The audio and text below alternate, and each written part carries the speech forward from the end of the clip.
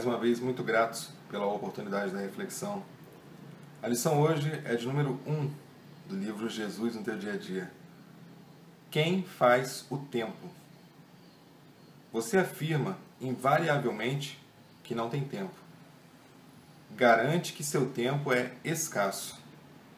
A visita ao doente lhe roubaria minutos preciosos. A atenção ao aflito que necessita do ombro amigo, afetaria a programação do seu dia. Deter-se em ouvir uma explanação evangélica resultaria em prejuízo aos afazeres mais urgentes. A leitura edificante lhe furtaria momentos imprescindíveis para o descanso. Dentro deste conceito e de posse da afirmativa não tenho tempo, acredita justificada sua ausência no bem. Mas, querido irmão, medite.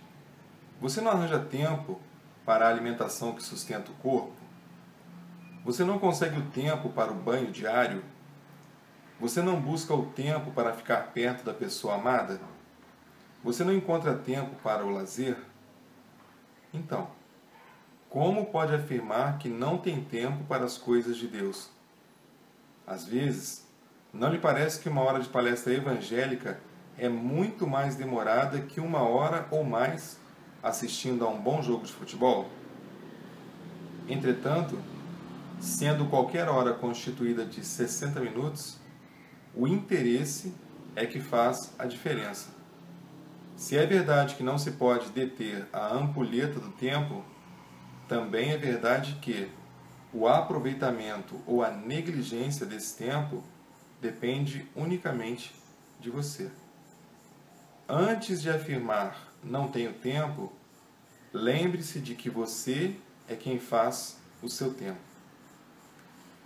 Então eu achei essa lição, mais uma lição, né, muito oportuna, porque passados aí os períodos festivos, estamos em 2024 e como costumamos todos dizer, né, passados a esses períodos, agora começou o ano.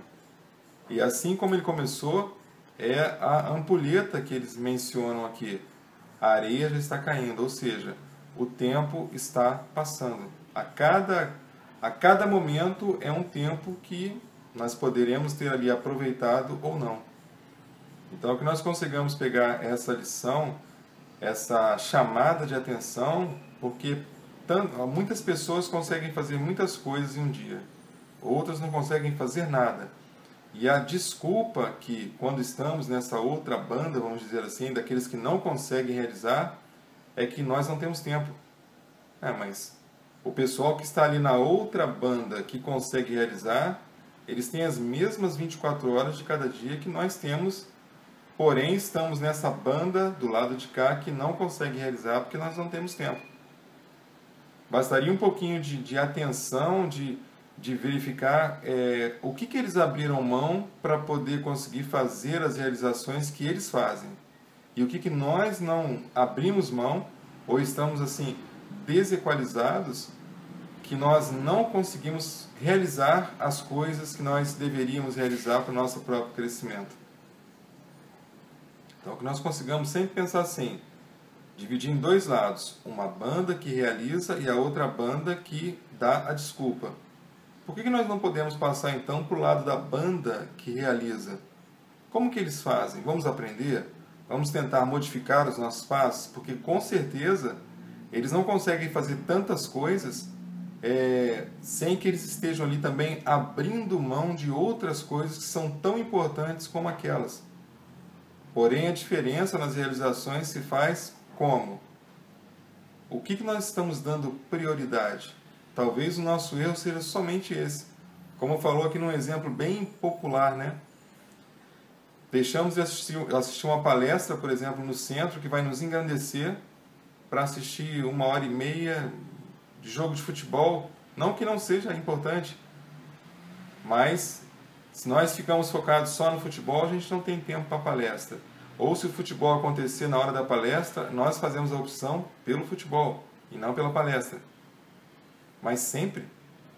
Todos os jogos são tão importantes que eu não posso abrir mão de um jogo para assistir uma palestra. A palestra com certeza vai ficar comigo para sempre. O futebol é algo momentâneo, porque hoje é o time A que é campeão, aí amanhã o time A joga, perde, aí o time B passa a ser o campeão. Porém, aquele ensinamento evangélico, ele é imutável. Nós estamos falando dos ensinamentos do Cristo, é imutável, não tem, não muda, não tem outro final. Seguiu, se nós seguirmos aqueles ensinamentos, é garantia de sucesso. Porém, nós precisamos fazer o quê? Aprender a priorizar as coisas, a fazer as escolhas de forma mais assertiva. E assim nós deixaremos desse, entre aspas, desculpismo de que nós não temos tempo. Nós conseguiremos sim distribuir as coisas, fazer aquela alquimia ali nas nossas tarefas e vamos encontrar ali é, pequenos espaços de tempo que nós poderemos estar preenchendo com aquilo que realmente nos agrega, aquilo que realmente é importante para nós. Então, que nós consigamos pegar as informações de quem faz o tempo e vamos aplicá-lo na nossa vida, na nossa caminhada. Simples assim, na nossa caminhada. O outro, o do outro, está na conta do outro, do outro. Que nós consigamos então colocar no nosso relógio, no nosso calendário, no nosso dia, as nossas tarefas, as tarefas que nós não estamos fazendo e tentamos entender, tentemos entender por que, que nós não conseguimos fazer.